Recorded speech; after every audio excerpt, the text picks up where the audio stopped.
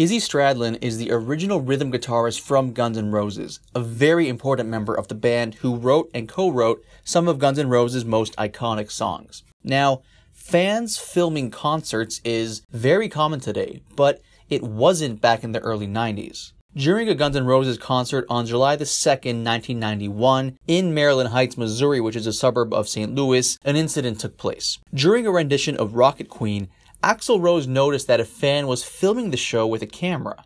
After asking the venue security to take the camera away, Axl himself jumped into the audience and confronted the fan. Axl was subsequently pulled away from the audience by security. Once back on stage, Axl announced to the crowd that he's going home slamming his mic on the ground and walking off stage, eventually joined by the rest of the band. The angered crowd proceeded to riot, leading to dozens of injuries and significant damage to the venue.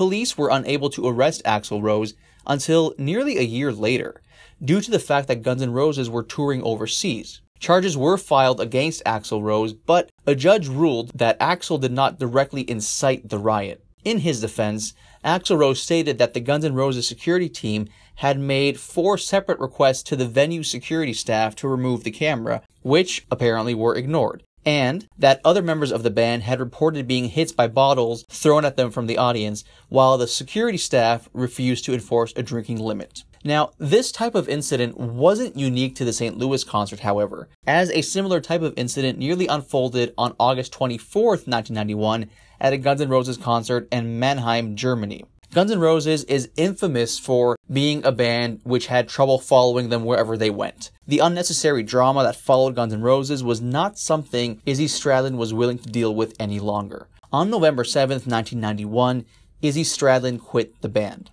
Izzy himself cited a combination of Axl Rose's behavior, his apparent mismanagement of the band, and various difficulties being around Slash, Matt Sorum, and Duff McKagan, who at the time still had various addictions, while Izzy Stradlin himself was now sober. The combination of all these different reasons led to him eventually departing Guns N' Roses. In Izzy Stradlin's own words, quote, Once I quit drugs, I couldn't help looking around and asking myself, is this all there is? I was just tired of it. I needed to get out.